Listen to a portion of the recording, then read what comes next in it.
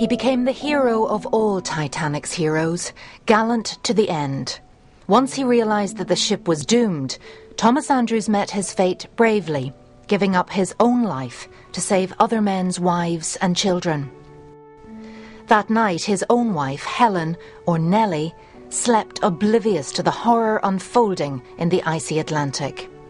She never really spoke about it, um, and she never mentioned the tragedy.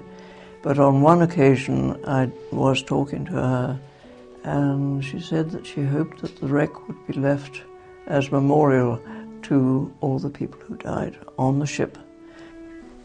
100 years on, and I've come to meet Nellie's youngest child.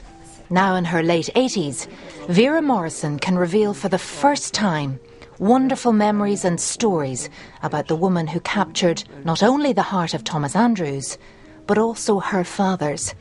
Another giant in the world of shipbuilding, Henry Harland of Harland and Wolff. Andrews and Harland would have known each other well. Both had courted Nellie who came from another prosperous family, the Barbours. The story passed down is that Nellie couldn't decide on which suitor to marry until her mother made her choose. Nellie picked Thomas. On Friday, the 24th of March, 1906, Thomas proposed. By all accounts, Nellie was stunned into silence and didn't give him the answer he was so hoping for.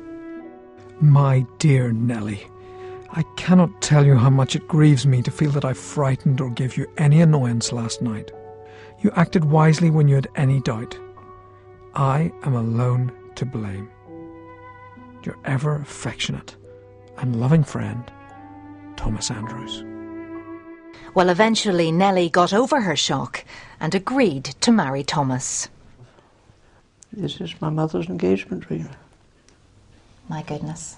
And of course, this is a this is priceless when it comes to sentimental value.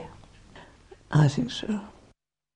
Two years after their wedding, they had a baby daughter, Elba. However, little did either know that very soon their happy world would come to an end, shattered by Titanic and Thomas's loss. Nellie was heartbroken, but chose not to focus on her own grief, but on the grief of others. I think she was totally devastated and she was so very fond of Tommy's parents.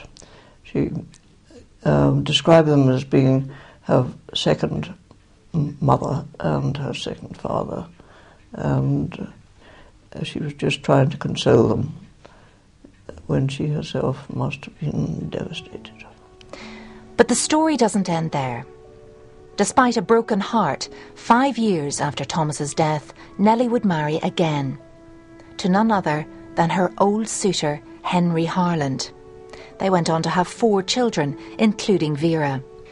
But it was only as an adult that Vera began to realise the important connection to Titanic and to her mother's first husband, Thomas Andrews.